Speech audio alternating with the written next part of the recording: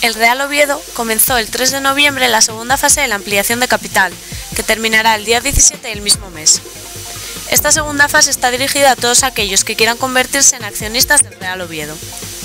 La primera fase fue dirigida a las personas que ya poseían acciones y en ellas obtuvieron 50.000 euros. La cifra que el presidente del club, Tony Fidalgo, dio como necesaria fueron 2 millones y medio, 4 millones de euros para llegar al final de la temporada. Esta segunda fase de la ampliación ha traspasado fronteras y ha llegado hasta países como Inglaterra, gracias a la colaboración del periodista del diario The Guardian, Sid Lowe. Ante la inesperada magnitud de la respuesta, el Consejo de Administración del Real Oviedo decidió abrir una cuenta en el extranjero para que todo el mundo pudiese colaborar. Las cifras de la recaudación en lo que va de semana invitan al optimismo. Sin embargo, desde la directiva prefieren adoptar una postura más prudente. Todo aquel que quiera colaborar encontrará más información en la página web del Real Oviedo y lo puede hacer desplazándose hasta las oficinas del Carlos Tartiere o en la cuenta que el Club Azul ha abierto.